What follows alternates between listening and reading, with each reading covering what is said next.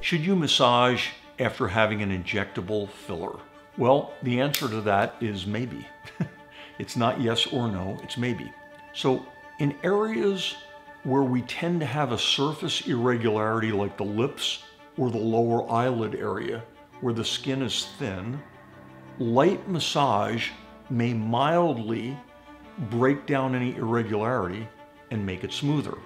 On the other hand, the question that often goes along with that will, will massaging it too much break it down and not make it last as long?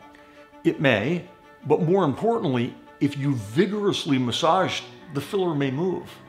It's possible that until it incorporates in the soft tissues, it may move.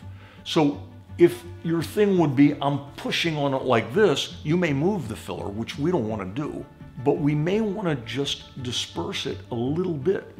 So light massage is often good in these areas where the skin is not thick, such as the lips, where the filler may be very close to the skin edge, the mucosal edge, and so we might want to mildly massage if we have a surface irregularity.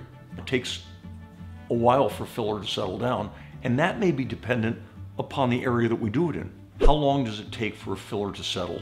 As a general rule, in these areas where we've got thick soft tissue, the chin, the anterior jawline, the cheeks, where we've got a mound of soft tissue over the top, the filler is deep and it doesn't require a whole lot of massage. We don't need to do that.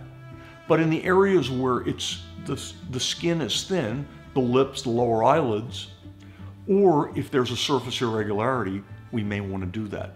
After about a week to a week and a half, it doesn't help us. So mild massage a couple of times a day is probably good in these areas but don't overdo it. If you have any questions about this, call me, email me, or come in to see me. Particularly if you've got a problem after a prior injection. I see lots of patients for this, and I'm glad to see you. Call me. Thanks.